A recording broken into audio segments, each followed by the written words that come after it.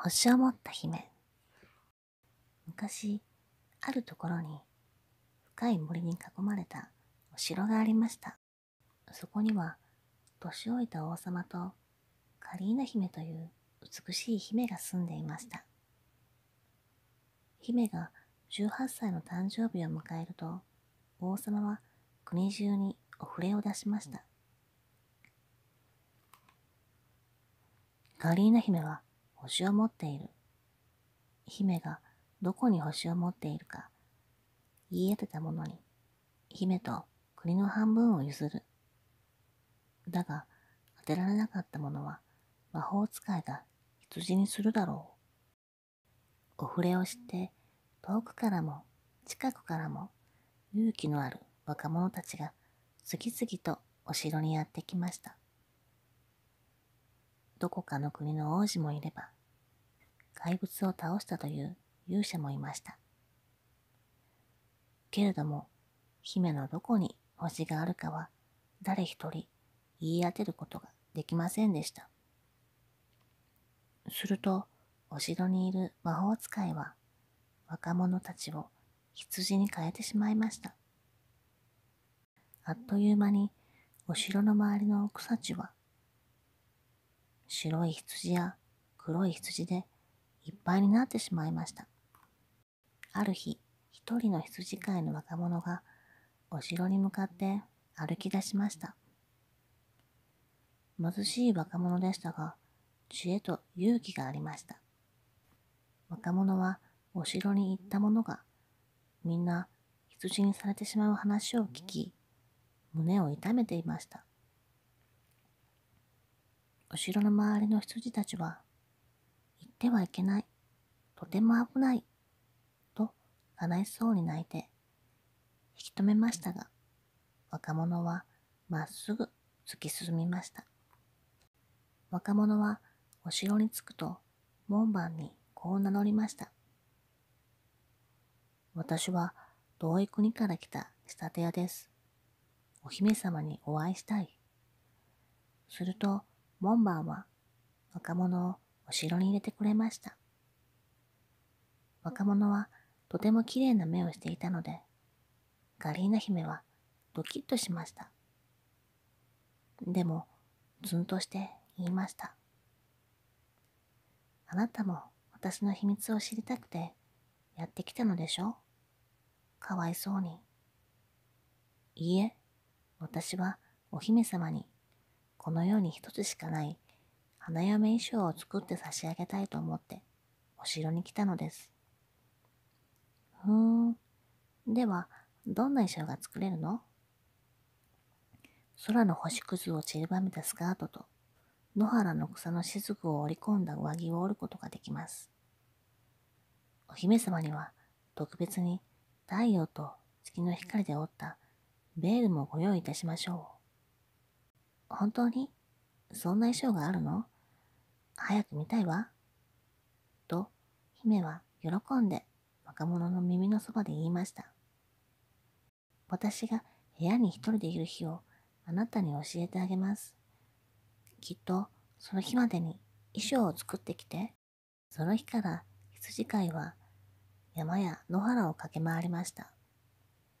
そして朝の太陽の光と夜の月の光を袋にいっぱい集めました。湖に映った星屑も拾いました。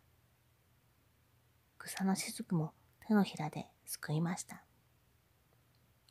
若者が布を織り始めると、空も野山も湖もみんな若者に力を貸してくれました。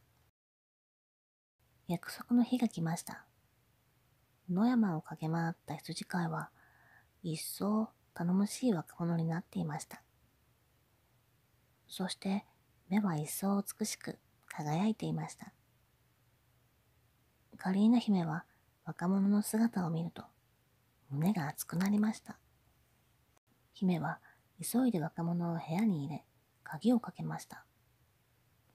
不思議な仕立て屋さん、私の衣装はどこ？若者は袋の中から色とりどりの衣装を取り出しました。カリーナ姫はそれを見るとすぐに着てみたくなりました。ありがとう、仕立て屋さん。さあ、手伝って。姫は太陽と月の光を紡いで作ったベールと、草の雫を織り込んだ上着と、星屑を散りばめたスカートを身につけました。その時、姫の右足の膝にきらりと光るものが見えました。若者は嬉しくてたまりません。それはそれは美しい金色の星の印でしたから。それに衣装を身につけたガリーナ姫は、どこのお姫様より美しく、若者はすっかり心を奪われてしまいました。若者は衣装の褒美に金貨をどっさりもらってお城を出ました。それからしばらく経ちました。羊飼いの若者はどうしてもガリーナ姫のことが忘れられず、またお城にやってきました。王様は貧しい未来のこの若者が姫に結婚を申し込んできたので、呆れてしまいました。お前は羊になりたくて城に来たようだな。立派な若者たちにもわからなかったことが、お前にわかるわけがない。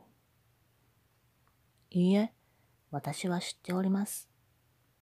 若者はまっすぐ王様を見て言いました。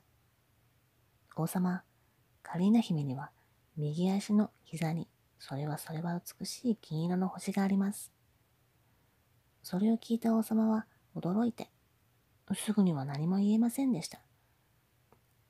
王様はこんなみすぼらしい若者に大切な姫と国の半分をやるなんて嫌でした。うーむ、なんということだ。どうしたものだろう。王様は困ってしまいましたが、カリーナ姫は嬉しそうに若者を見ています。若者よ、仕方がない。約束は約束だ。姫と国の半分はお前にやろう。王様は若者の手を取って、カーリーナ姫の手と重ねました。ありがとうございます、王様。でも、私は姫と結婚できるだけで十分です。国の半分はいりません。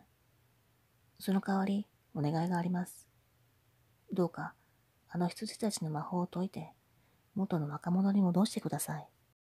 魔法が解けると、羊たちは次々に若者の姿に戻りました。揃いも揃って頼もしい若者たちでした。若者たちはみんなで若い王とガリーナ姫を支えました。そうして国は一層栄え、人々はいつまでも幸せに暮らしましたとさ。おしまい。